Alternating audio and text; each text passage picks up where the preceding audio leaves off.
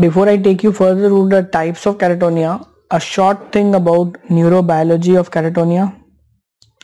I think in module 2 I have mentioned to write any neurobiology question you need to have four headings neuroanatomy, neurophysiology, neuropathology and neuroimaging.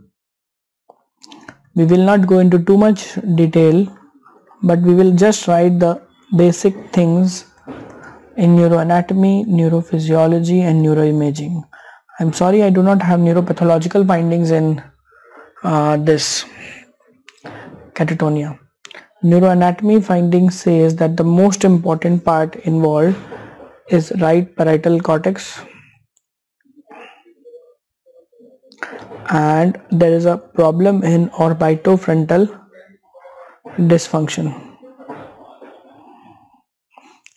Neurophysiology says there is decrease in GABA A, hence benzodiazepines are useful. Then uh, there is decrease in D2 dopamine, mainly striatal D2. That's why antipsychotic can cause catatonia, except in a few cases where they are used in catatonia. Decrease increase in NMDA posterior parietal that means glutamate activity is increased. That's why anti-NMDA like amantadine and memantine are used in catatonia. And number 4 increase in 5-HT1A again this is not given in Kaplan so this is beyond Kaplan. Neuroimaging mainly functional neuroimaging has shown reduced cerebral blood flow that is SPECT single photon emission computerized tomography hypoperfusion.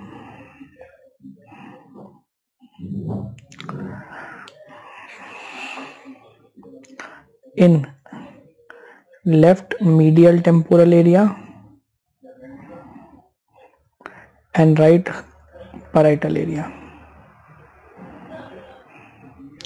Actually in one line if I tell you it is orbitofrontal cortex and its connection with dorsolateral prefrontal cortex and motor cortex. This is the circuit involved in all the three symptoms of catatonia. Let it be motor symptoms, let it be affective symptoms, let it be behavioral symptoms. The circuit is orbitofrontal cortex and its connection to dorsolateral prefrontal cortex and primary motor cortex.